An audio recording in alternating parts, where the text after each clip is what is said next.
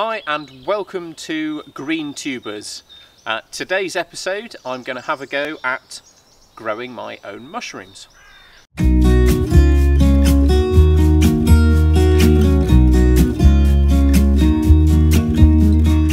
The general idea for growing your own mushrooms is simply to infect a, a log um, and how you do that is you get um, a drill and drill holes in various points along the log and then you insert these little wooden dowels.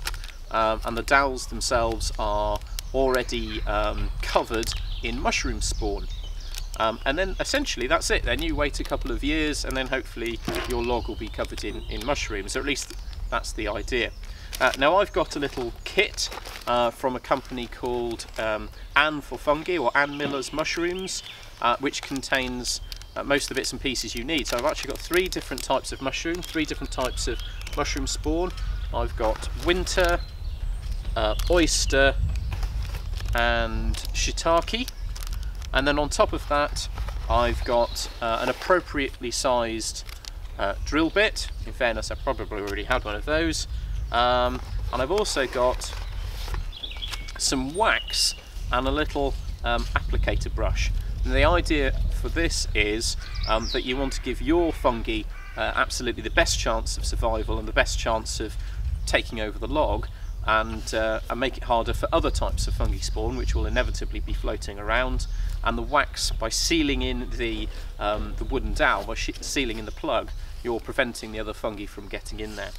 Now ideally you should also seal up any other cut surfaces. So uh, these logs here have got um, some, some cuts on where some of the branches have been taken off. Ideally they should be entirely sealed up with wax as well, uh, but I probably haven't got enough for that.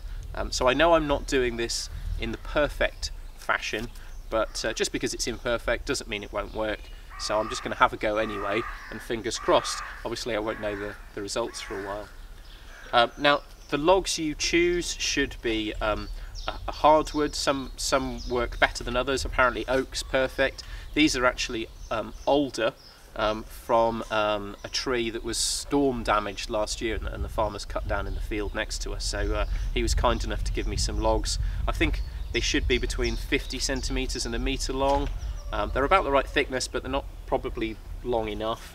Um, but uh, we're, we're, stuck with what we've got and, and we'll give it a whirl. So, uh, let's try. So while I'm doing the drilling, I'm going to uh, get, the, uh, get the wax melting on this um, camping stove. In order to get the dowels into the wood, I, I need to drill a hole, but the hole needs to be according to the instructions, about 50% longer than the dowel itself. So I'm going to mark off where that is roughly on my drill bit, and then I'm going to get a bit of tape and tape around there so that I know the right depth.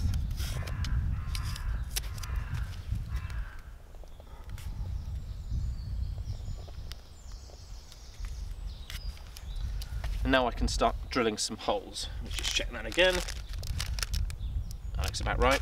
Now you do holes lengthways first and you do them about six inches apart which is give or take that much and then you do another row and then you do them in between and only about two or three inches that way. At least according to the instructions so let's try that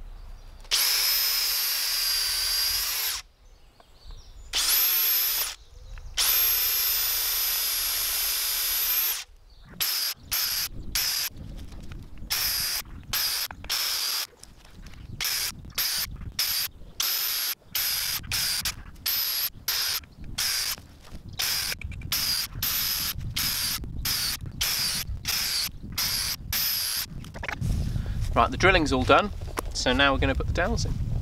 We're going to start off with the shiitake mushrooms, the shiitake plugs, and Oliver here is going to do the hammering. Okay, look. There you go. Might want to use another one, poke that down a bit further. There you go.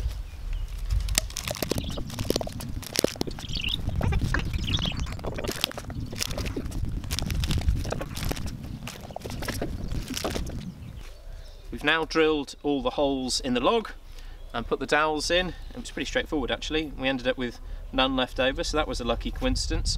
And it's now time to go around with our little wax brush and the um, wax, which is now nicely heated up in the pan, and go around and try and uh, seal up all these holes. Okay, I'll do a couple, Oliver, and then you can take over, alright? Woo!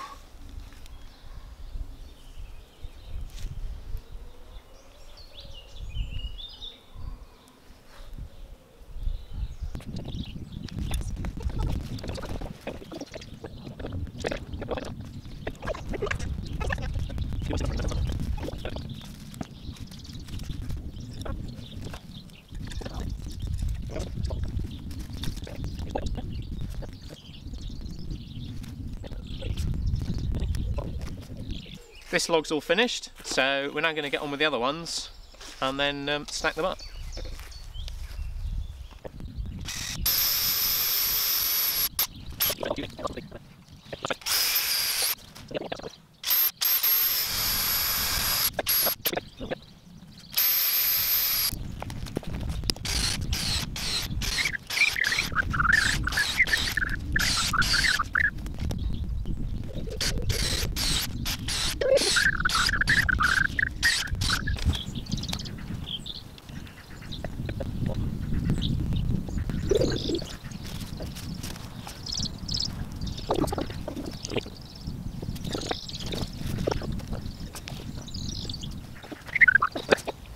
That was relatively straightforward.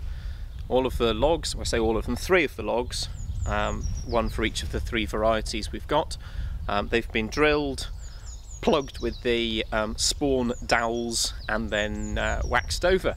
So the last thing to do is to find them a resting place. They should be somewhere relatively cool, dark and shady, kind of the sort of places you might expect to grow mushrooms, I guess. Um, luckily we've obviously got a bit of woodland, uh, so uh, I'm going to load the logs into the wheelbarrow and uh, find these logs their home.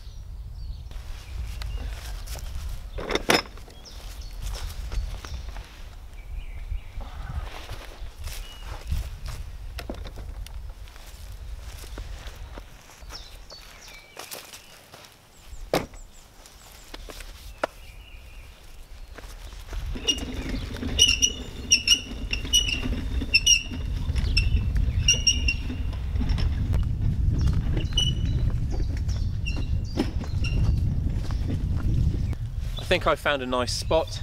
There's a pair of ash trees here uh, with a, a, a branch that's fallen off between them and that'll give me something good to lean the mushroom logs up against. Apparently that's what they like. They don't want to be flat against the floor, they want to be a bit of an angle in a, a shady spot.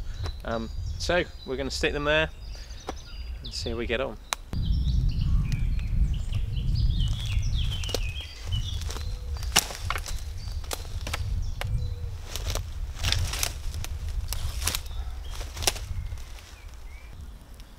My mushroom logs are all in place now. This is as much for my record as anything else. So, if I can remember this right. This one here in the middle is the shiitake mushroom. The oyster mushroom is the one at the far end, the smaller log. And this one here, which is probably the worst candidate log, given that it's all cracked at the top, uh, that one's the, uh, the winter mushroom. So these things are just going to sit here hard to get excited about it now and it's maybe a year or two away, but uh, fingers crossed. I'll be seeing you for another video about the mushrooms at some point in the future with a bountiful harvest. Thanks for watching.